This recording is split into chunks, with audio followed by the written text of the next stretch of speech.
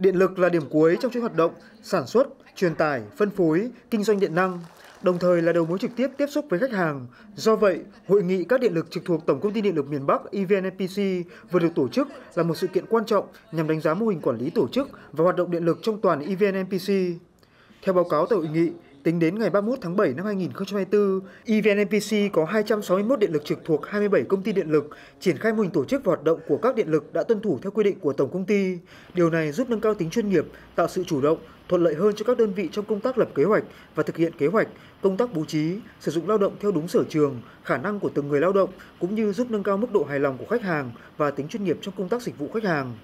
Các điện lực còn làm tốt nhiều mặt công tác khác như quản lý hợp đồng mua bán điện, quản lý thu nộp tiền điện, quản lý hệ thống đo đếm, công tác dịch vụ khách hàng, quản lý các dịch vụ hỗ trợ kinh doanh điện, kiểm tra giám sát mua điện, sản xuất kinh doanh dịch vụ điện lực. Từ đó mà các chỉ tiêu của toàn EVNPC đều được hoàn thành xuất sắc, khẳng định rõ nét vai trò chủ đạo của một ngành kinh tế mũi nhọn, phục vụ đắc lực cho phát triển kinh tế xã hội tại 27 tỉnh thành phố khu vực phía Bắc.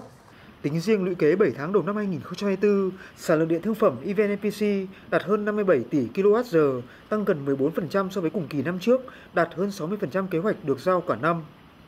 You.